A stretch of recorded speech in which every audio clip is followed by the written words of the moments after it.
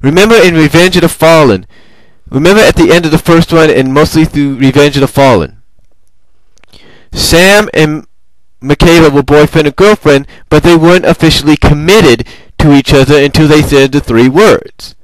Right? And when Sam supposedly died, Mikaela said those words. And Sam, when he got revived, I've, I've uh, dittoed it, if you will, or said the same thing back to her, and thus making a commitment. Yeah, I know a lot of you are saying, well, he doesn't have Mikaela anymore in the third one. That's true, but you get what I'm saying, right? Yeah, Sonic and Sally have said it to each other before.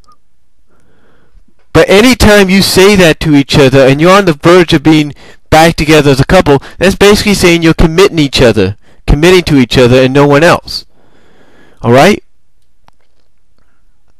That's basically what it is. No matter what people say, that's basically what it is. Now you don't now you can be boyfriend and girlfriend and all that and hang out with each other and go out and have something to eat, go see a movie and all that at but that doesn't mean you're officially committed to each other just yet unless you say those words or unless you take that first step. You know what I'm saying?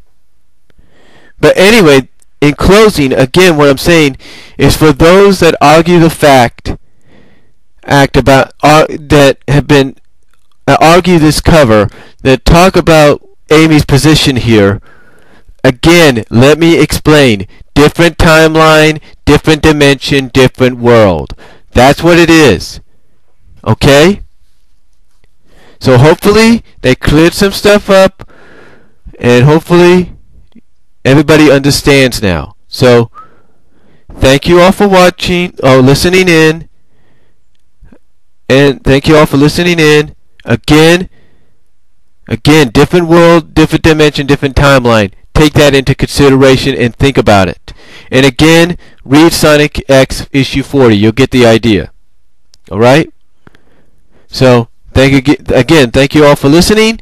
And I will talk to you all later. You all have a good day.